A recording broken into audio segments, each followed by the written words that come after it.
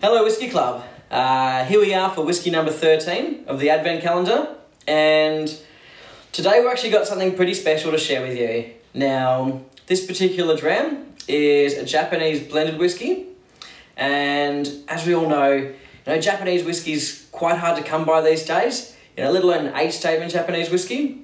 Now this one being 21 years old, to find an age statement like that, you're probably paying upwards of plus a thousand dollars a bottle uh, if you can find one on the shelf somewhere. So this is actually a really special whiskey to share with you. So let's get into it. On the nose, it's great. Breakfast porridge, raspberry jam, and definitely got those malt milk biscuits coming through as well.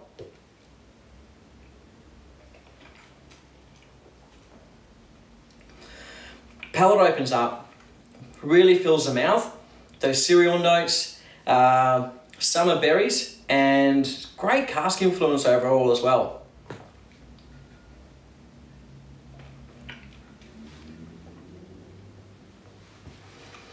The finish, lots of vanilla. It's coming from the cask influence coming through. A lovely burst of blackberries on top of that. Now, that was a pretty cracking dram, and it was a pleasure to be able to share it all with you. And looking forward to trying tomorrow's whiskey, whiskey number 14. Cheers.